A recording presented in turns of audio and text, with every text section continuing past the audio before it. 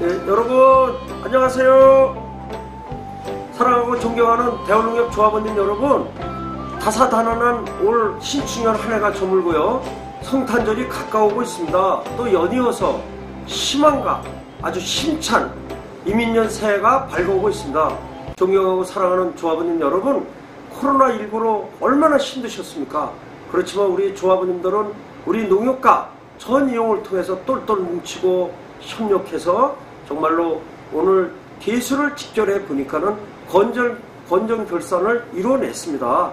여러분께서 만족할 만한 성과를 내었음을 보고를 드리면서요. 이민년 새해에 우리 대월농협에서는 정말 조합원님의 사랑받는 농협을 여러분과 함께 만들어 나가겠습니다. 특히 농가소득 증진을 위해서 두문모 확대 재배를 적극 권장하고 또 우리가 착착 준비를 해서 한치의 빈틈도 없이 준비를 해 나가도록 하겠습니다.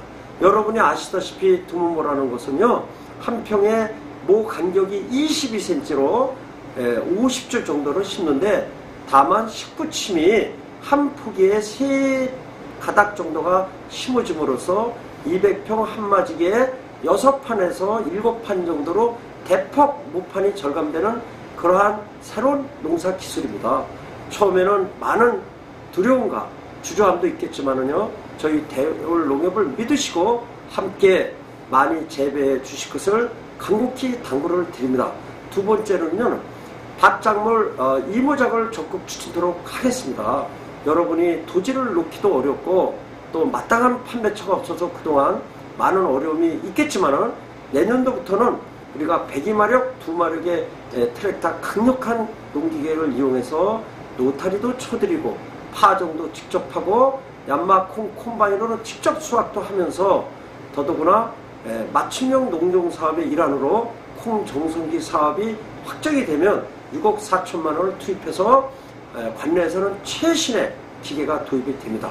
이로써 레이저로 색채 선별을 통해서 깔끔한 콩 정선이 가능하고요. 소포장까지 저희가 이뤄내서 부가가치를 높이도록 하겠습니다.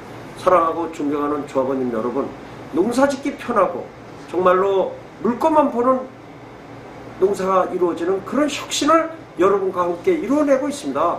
어느 누가 뭐라 해도 대울농업의 농작업팀은 최강을 달리고 있고요. 건전 결산도 이뤄내고 내년도에 여러분 농사짓기 편하도록 비록 인상분에 대해서도 철저한 예산을 수립해 놓았습니다.